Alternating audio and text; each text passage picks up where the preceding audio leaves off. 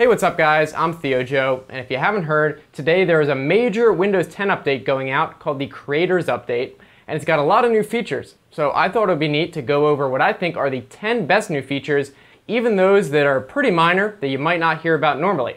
So let's get started. The first change should make a lot of people happy, which is that Microsoft changed the way that automatic updates go out.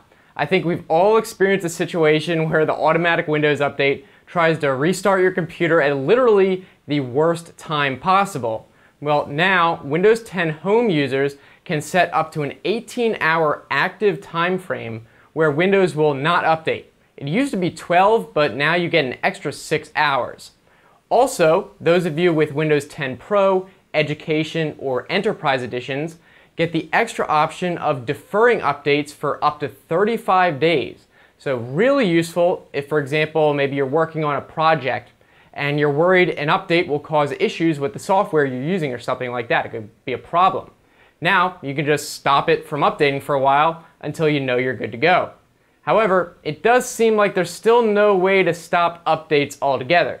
But honestly, there's no reason why you would want to do that anyway. As everyone should tell you, you always want to keep Windows up to date, especially for security purposes. Next up is a cool little feature for the Start menu. You can now create Start menu folders to group multiple app tiles together instead of having them all separate. You just drop one onto the other and it creates a group.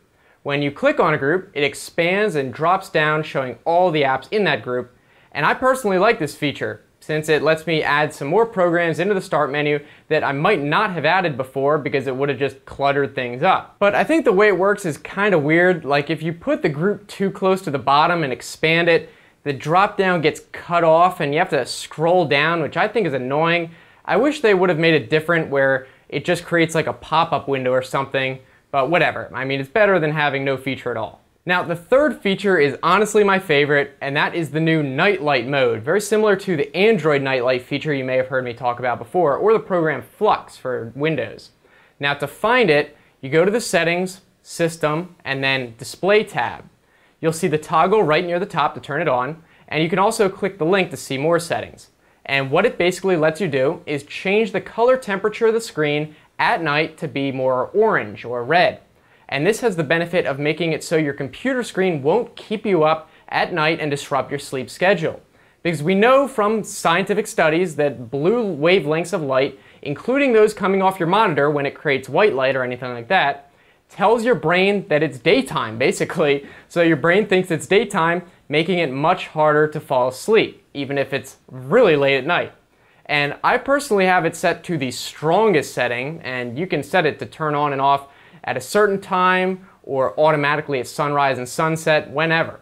Also, another cool thing is that if you do already use the program Flux, which has been around for a while and basically does the same thing, these two features will stack. And by that I mean if you enable one and then enable the other, it will dim it even more. So what I have it do is have Flux dim the screen around sunset and then Nightlight dim the screen even more closer when I go to bed. So they're on different schedules. So it's kind of like a gradient almost. So you might want to try that out as well. I think that's something not a lot of people will notice right away, so I thought I'd let you know about it. Number four is the new Storage Sense feature, which makes it easier to keep your hard drive space freed up.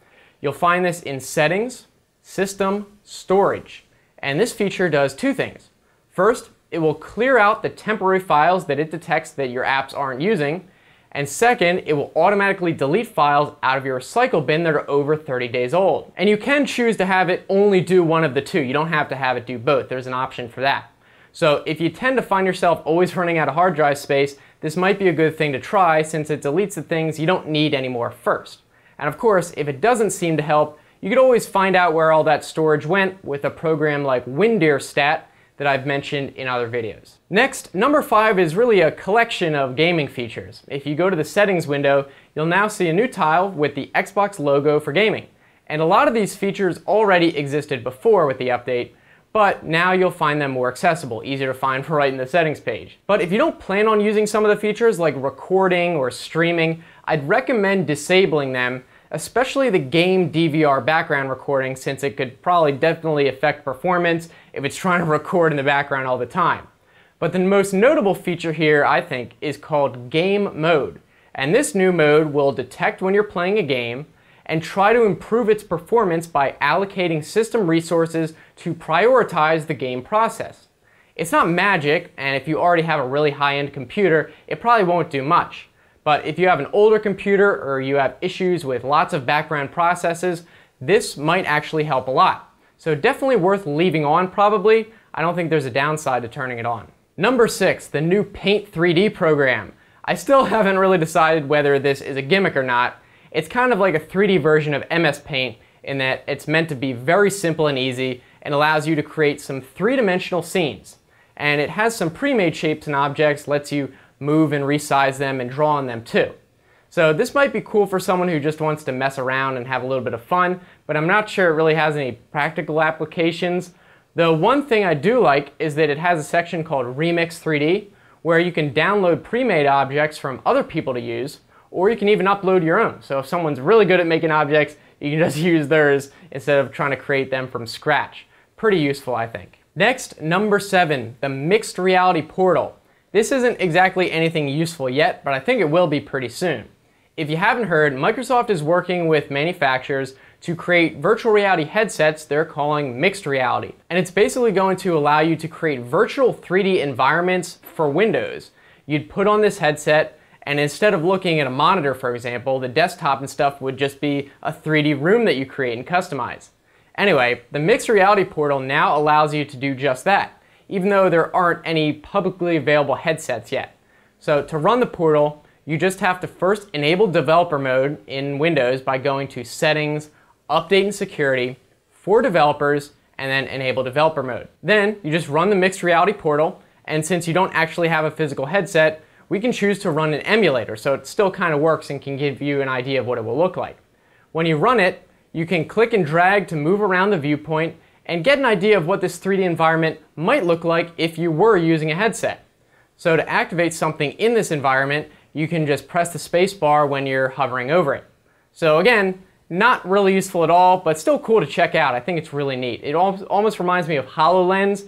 I do have a HoloLens, and this is gonna be kind of like that, except a headset and actually in your Windows computer. All right, number eight, improved privacy options, or at least Microsoft has made privacy options in Windows more upfront and easier to understand.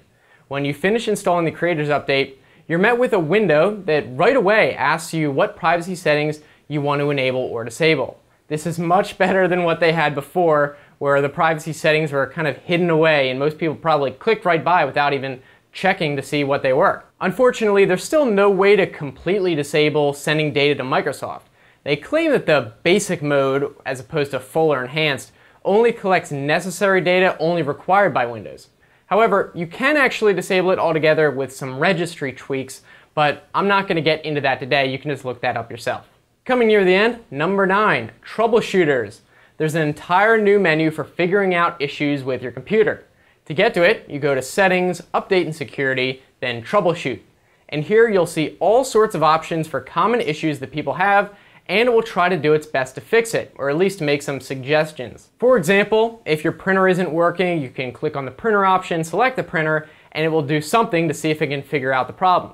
You've probably seen these troubleshooters before, but they typically only ever showed up sometimes. You couldn't really search out and see a list of all the different troubleshooters, but now you can.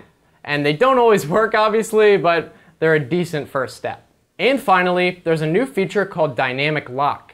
This is very similar to some features you may have seen on Android phones these days, where the computer will automatically lock Windows if you move too far away from it physically, based on having your phone connected via Bluetooth. And right now it seems to only be designed to work with phones, and you might be able to get it to work with some other type of Bluetooth device if you try hard enough, but I wouldn't bet on it.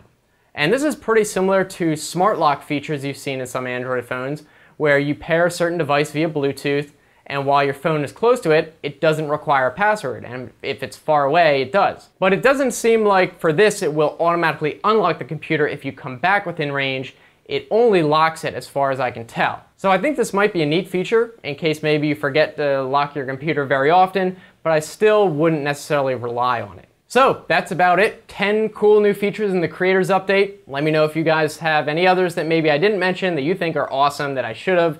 Like I said, there's plenty of other changes in the update that I didn't go over. And if you guys want to keep watching, I'll put some other videos right here. You can just click on those. And if you want to subscribe, I make new videos every Tuesday, Thursday, Saturday. Should be worth it. So thanks again for watching, guys. See you next time. Have a good one.